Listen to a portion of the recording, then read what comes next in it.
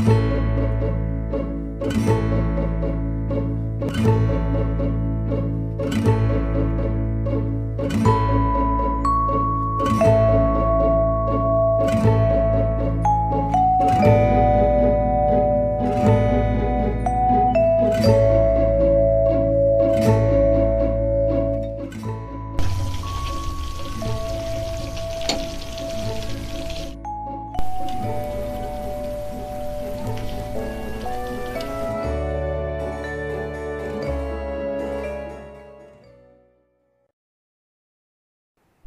hey guys welcome back to my channel আজ আমি আপনাদের সাথে শেয়ার করতে চলেছি শিমুয়ের পায়েস রেসিপি বা শিমুয়ের ক্ষীর রেসিপি যাই বলেন না কেন, খেতে কিন্তু অসাধারণ হয় এবং চালের পায়েসের থেকে খুব কম টাইমে খুব ইজিলি বাড়িতে বানানো যায় এবং অত কিছু ইনগ্রিডিয়েন্টসও লাগে না খুব একটা।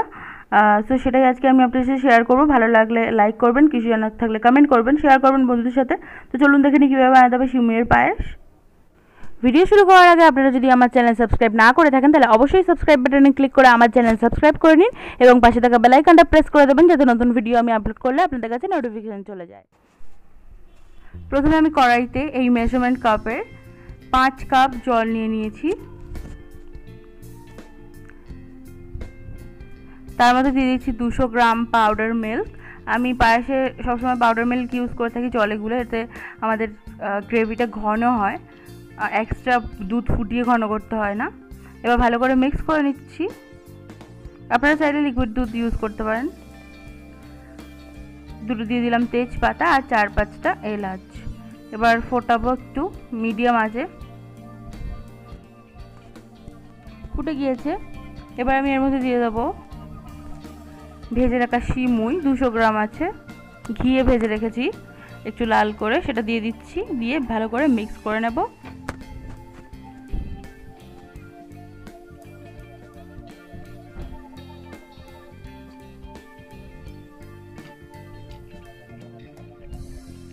তার সাথে দিয়ে দিয়েছি কিছু কাজু আর কিশমিশ ঘিয়ে ভাজা। আপনারা চাইলে এমনি দিতে পারেন, আমি একটু ঘিয়ে ভেজে নিয়েছি। দিয়ে মিক্স করে দেব। ভালো করে মিক্স করে কিছুটা ফুটে গেছে আর শিমুই আমাদের সিদ্ধ হয়ে গেছে। এবার আমি আমাদের দিয়ে দিচ্ছি দুশো গ্রাম গুড়ের বাতসা আর একশো গ্রাম মিষ্টি। চিনি দিয়ে করতে পারেন বাট চিনি দিয়ে করলে একটু হালকা হয়ে যায়, জল ছাড়ে চিনি থেকে। তো এগুলো দিয়ে করলে বেশি টেস্টি হয়। আপনারা চাইলে চিনি ইউজ করতে পারেন। ভালো করে মিক্স করার পর আমি এর মধ্যে দিয়ে দিচ্ছি সামান্য একটু লবণ যাতে ব্যালেন্স করে মিষ্টিটা ভালো করে। এবার মিক্স করে দিচ্ছি। আর একদম শেষে দিয়ে দিলাম আমি ঘি। ওয়ান টেবিল স্পুন মতন মিক্স করে দিয়ে আমি ঠান্ডা করব, তারপর পরিবেশন করব। ঠান্ডা হয়ে গিয়েছে, অনেকটা বসে গিয়েছে। তো সার্ভ করে দিয়েছি আমি। দেখুন, একদম জমে গেছে। আর কত টেস্টি দেখতে হয়েছে। আপনারা যদি একটু লিকুইড টাইপের খেতে চান, একটু গ্রেভি রেখে, তাহলে আপনারা ছ কাপ দুধ দিয়ে দেবেন। ছ কাপ জলে আপনারা আরেকটু দুধটা বেশি গুলবেন মানে আড়াইশো গ্রাম মতন গুলবেন, তাহলে গ্রেভিটা একটু বেশি হয়ে যাবে। তো দেখলেন কত সহজে তৈরি হয়ে গেল সিমের পায়েস রেসিপি এই রেসিপি যদি আপনাদের ভালো লাগে থাকে, তাহলে অবশ্যই লাইক করবেন, কিছু জানাতে থাকলে কমেন্ট করবেন শেয়ার করবেন বন্ধুদের সাথে। এবং অবশ্যই আমার চ্যানেল সাবস্ক্রাইব করতে ভুলবেন না এবং পাশে থাকা বেলাইকানটা প্রেস করে দেবেন, যাতে নতুন ভিডিও আপলোড করলে আপনাদের কাছে নোটিফিকেশন চলে যায়।